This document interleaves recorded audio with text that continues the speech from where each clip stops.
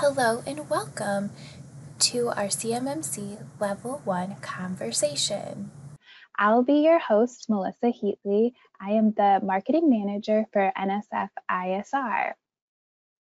Today's speakers will be Tony Giles, who is a lead auditor for ISO 27001, ISO 20000-1, and ISO 9001, and recently has become a provisional assessor for CMMC.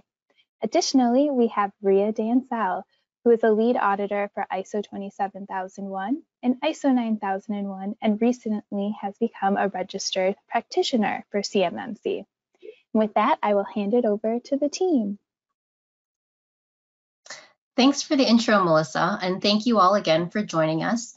Um, today, we're going to spend some time talking about timing for CMMC audits and maturity levels, CMMC levels and who is auditing, what to keep in mind about CMMC assessments, how an assessment for CMMC level one will be conducted and beyond CMMC level one, and we'll end it off with some closing comments on CMMC. All right, so CMMC audit durations are currently not defined. Um, that's mainly because there are multiple factors involved in an assessment, and that could include anything from organization size, complexity, or number of locations. Um, but NSF does take those factors into account during the assessment planning stage in order to minimize business disruptions and also to help keep costs down. Um, for the CMMC maturity level, this is also not defined because it is dependent on similar components, um, as I mentioned earlier, uh, organization size and complexity, but also the approach that organizations take to promote a strong security culture within the environment, uh, which is important because once that's established, it sets the organization up to be able to achieve a higher level of CMMC compliance. Um, another Another thing to keep in mind um, is that the process maturity is not assessed for level one. What are the CMMC levels? CMMC levels will range from levels one through five, but currently only assessments, assessment levels one through three will be available. The bulk of organizations seeking certification will require CMMC level one or CMMC level three. CMMC level two is being looked at as really a stepping stone for organizations to get to CMMC level three as they start to prepare their environment for the management of CUI. If your organization currently creates or maintains CUI, controlled unclassified information, you will be required to meet CMMC level three. In order to meet CMMC level three, you also have to include levels one and two if your organization only has FCI or federal contract information, you'll be required to meet CMMC level one. So who is auditing? Assessments um, may start as early as next month, so January of 2021, um, and it will be conducted by provisional assessors and then eventually certified assessors, but currently there are only provisional assessors in the CMMC AB marketplace. Um, NSF does have a team member who is a qualified provisional assessor who is possibly on this webinar and is not me. So I've narrowed it down. but during the provisional assessments, registered practitioners are also able to support as team assessors. Um, there has been mock CMMC assessments conducted, but this was done using DIBCAC assessors through DCMA. Thank you, Rhia. Um, so what we need to know about CMMC assessments, and this is so critical that we understand that it's planning in advance. And part of that planning in advance is really focusing on and defining the scope. What's going to be included within our CMMC assessment? Uh, fun fact, if you have CUI and you are applying for CMMC level three, you cannot scope out CUI. So we need to make sure we understand if our organization creates or maintains CUI, where that is, and how that's going to be included within our scope for the assessment process. Scoping should always be discussed upfront uh, between the assessor and the organization. We look at objective evidence for measurement of practices. This looks at maybe two forms of objective evidence validated for each practice.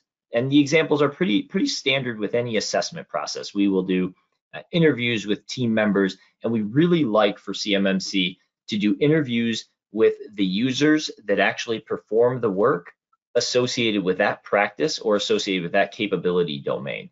We might also look for documentation review or demonstrations of practice.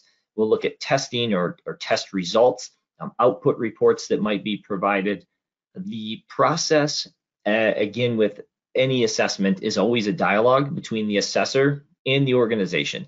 Make sure we can talk to the appropriate users, the appropriate individuals that are actually performing the work, and it's just an open discussion on the audit and assessment process.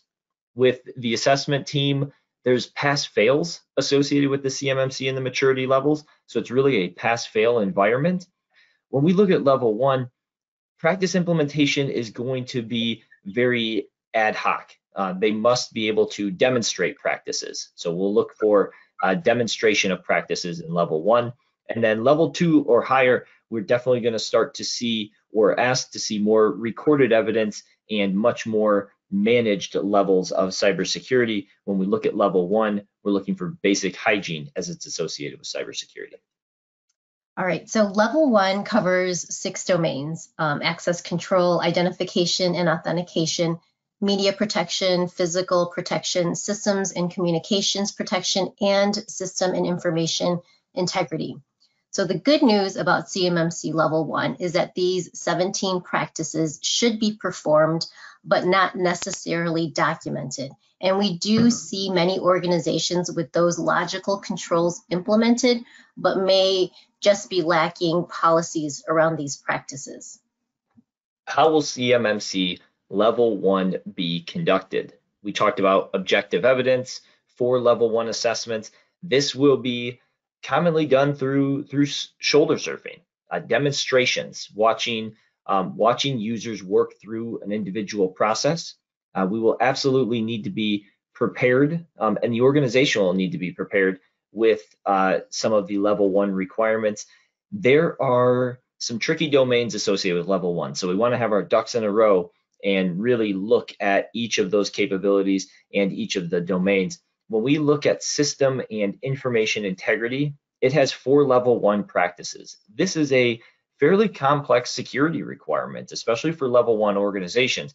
Remember, you have to demonstrate how you identify, report, and correct information system flaws in a timely manner. And if we looked at an example of that, you say you have to identify, so you might do a vulnerability scan of your environment and it might give you a report. So you've done a vulnerability scan, you get a report.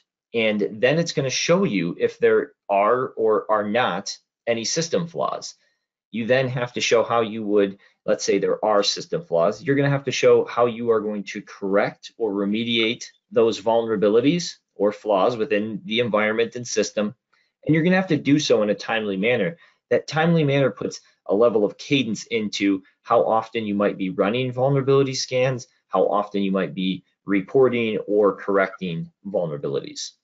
So as Tony mentioned earlier, CMMC level one practices involve basic cyber hygiene for the protection of FCI, federal contract information, um, and that process maturity is not assessed for level one. But for um, CMMC level one assessments, um, those will be based on an organization's ability to demonstrate all 17 practices through objective evidence, and that can be through interviews or direct observations. Um, and also, something to keep in mind is that all level one practices apply to every organization since the CMMC levels are cumulative. Moving beyond CMMC level one and looking at some of the next levels, you, as your organization may start to get CUI or access to CUI, you're going to need to apply for other CMMC levels. That would be level three. And when you look at moving past one, organizations need to start to add in processes and plans. This plan planning portion should include things like mission statements, strategic goals and objective, um, relevant standards, project plans, resource training. There's a lot of things that may or may not be needed that are included in those in those plans.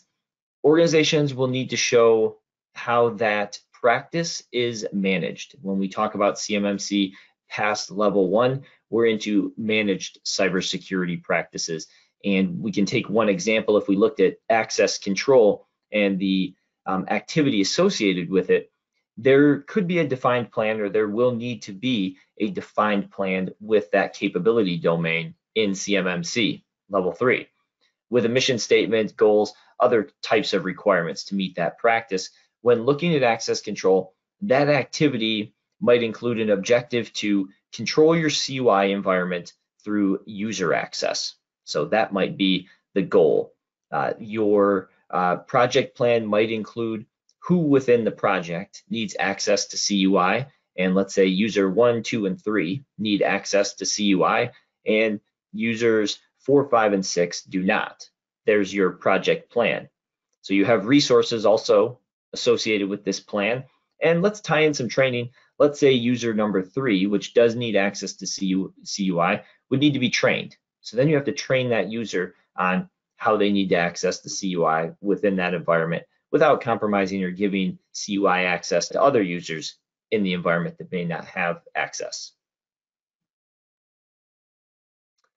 Closing comments, and when we look at the CMMC accreditation body, they are there for guidance.